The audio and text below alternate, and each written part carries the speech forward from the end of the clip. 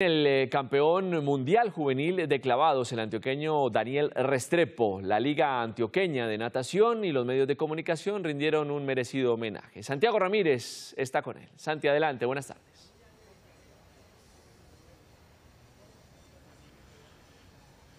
Hola Juan Felipe, televidentes, muy buenas tardes y como usted bien lo dice, nos acompaña Daniel Restrepo, el flamante campeón mundial juvenil de clavados en la prueba de trampolín de tres metros, este título que consiguió la semana pasada en Ucrania. Daniel, muy buenas tardes. En primer lugar, felicitaciones y bueno, ya con cabeza fría, más tranquilo, has podido analizar qué significa este título eh, mundial para ti y para la historia de los clavados colombianos.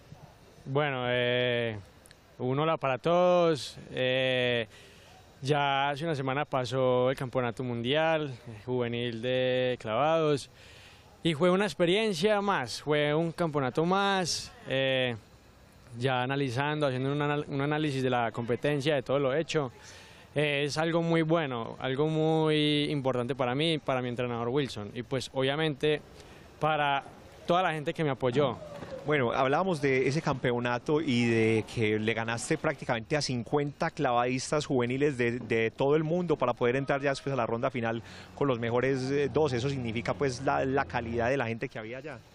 Sí, sí, o sea, yo digo la, la competencia más, eh, como más complicada es la preliminar, ya que son muchos deportistas y solo pasan 12 a la final. Entonces, eh, paso a paso se fue dando, pasamos a la, a la, final de segundos y ya en la final se logró el, el, primer puesto. Bueno, muchísimas gracias Daniel, de nuevo felicitaciones por este título mundial. Ahí está entonces este clavadista que Juan Felipe tendrá eh, pocas vacaciones, ya tuvo su descanso y ahora se enfocará en lo que es esos Juegos Olímpicos de la Juventud en Buenos Aires 2018. Soy Santiago Ramírez para Noticias Telemedellín, siempre con vos, continúe usted con más información.